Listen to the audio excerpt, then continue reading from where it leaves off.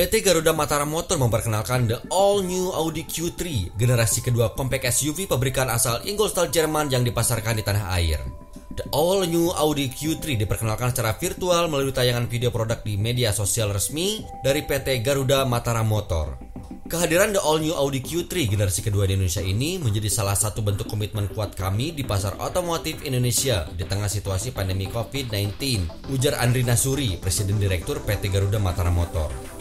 All New Audi Q3 merupakan SUV keluarga berukuran kompak yang multi talenta.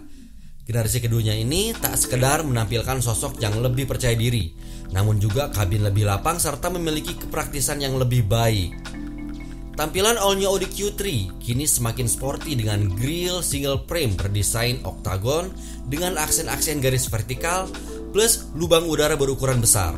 Desain lampu depan LED yang menyipit dengan penerangan yang secara pintar dapat beradaptasi sesuai dengan kebutuhan pengendaraan.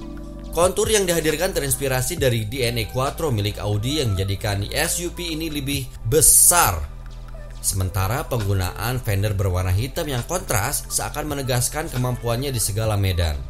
Di bagian buritan terdapat spoiler yang mengapit kaca belakang serta sudut tajam kemiringan pilar D memberikan kesan pergerakan maju yang dinamis.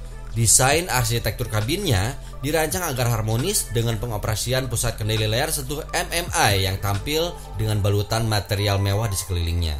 Bersama dengan tombol penyejuk kabin di bawahnya, panel ini memiliki sudut 10 derajat yang mengarah ke pengemudi.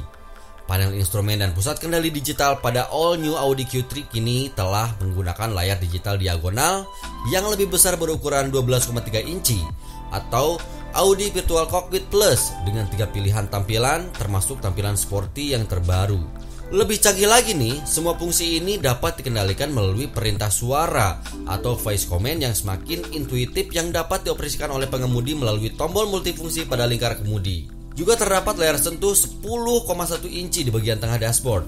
Untuk sistem audio, All New Audi Q3 ini menggunakan Audi Sound System Dibandingkan dengan pendahulunya, All New Audi Q3 memiliki dimensi yang lebih besar dengan panjang 4484 mm, lebarnya 1849 mm dan tinggi 1585 mm dengan antena di atap.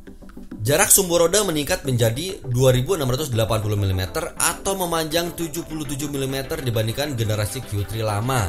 Bangku belakangnya bahkan dapat bergerak maju mundur hingga 150 mm.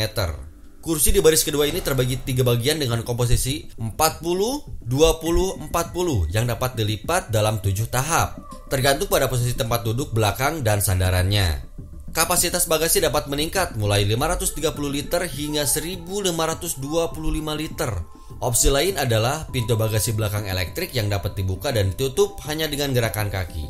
Di balik ke terdapat mesin TFSI 4 silinder 1,4 liter dengan turbocharger. Tenaga yang dihasilkan mencapai 150 HP pada 5000 sampai 6000 rpm dan torsi puncak 250 Nm pada 1500 sampai 3500 rpm yang disalurkan ke sistem penggerak depan melalui transmisi otomatis S-Tronic 6 percepatan. Akselerasi 0 sampai 100 km per jam dapat ditempuh dalam 9,2 detik dengan kecepatan puncak 204 km per jam. Konsumsi bahan bakar kombinasi yang dihasilkan mencapai 5,9 sampai 5,7 liter per 100 km atau 16,9 sampai 17,5 km per liter.